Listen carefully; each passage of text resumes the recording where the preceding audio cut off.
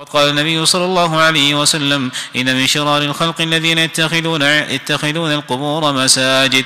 ألا فلا تتخذوا القبور مساجد فإني أنهاكم عن ذلك. الحديث في الصحيحين. نعم. في زيارتنا التي ذكرت لكم آه، زرنا لهم مركزا في نيبال. ودخلنا المركز وكانت له ساحة كبيرة فيها حديقة وفيها ثلاثة قبور.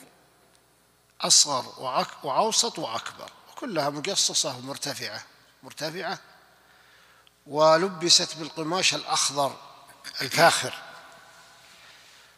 وعند القبر الأكبر شاب في العشرينات ساجد بين يدي القبر.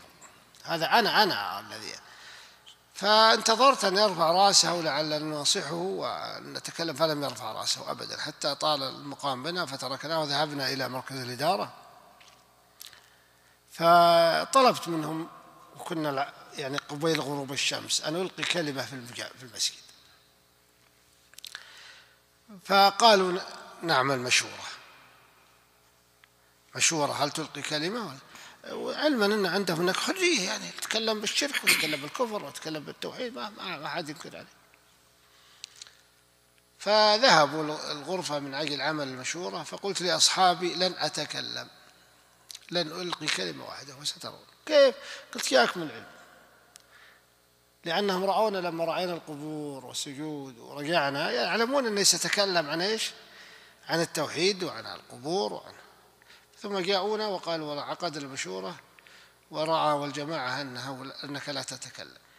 فمشينا والله. ما صلينا ولا يصلى في مسجد ما صلينا وما تكلمت. منعونا من الكلام عن التوحيد في هذا المسجد. الذي يسجد هذا الشاب بين يدي القبر. نعم. قال التاسعة أن مؤسس هذه الجماعة يؤمن بالكشف نعم ينتشر عندهم. تنتشر عندهم الجلوس عند رؤوس عند المقابر. هذا يعني ينتشر عند جميع الصوفية لكن هؤلاء عندهم بكثرة. حتى صاحبنا الذي يقول جلسوا عند رأس القبر من العشاء إلى الفجر من عقل تنزل يقول عليك فيضات روحانية. والمسكين قال أنا يعني لكن مثل ما ذكرت لكم فهذه عقيدة عندهم يعني.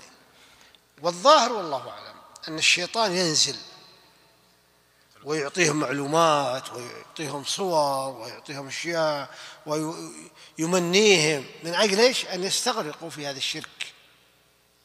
نعم.